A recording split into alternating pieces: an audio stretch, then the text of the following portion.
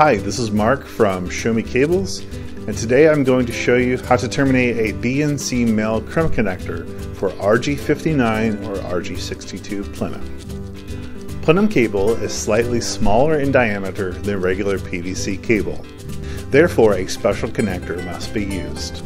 For today's project, we are going to need RG59 CMP or plenum cable, BNC male, crimp connector, coax stripper, and crimp tool.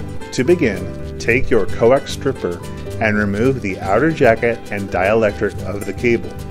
The advantage of using a coax stripping tool is it cuts both at the same time. Rotate it a few times around the outside of the cable and peel the jacket off. Fold the braided shield on top of the jacket. Slide the ferrule over the braid and the jacket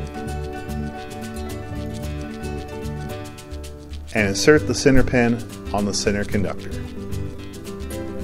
Next, take the BNC housing and slide it all the way onto the cable.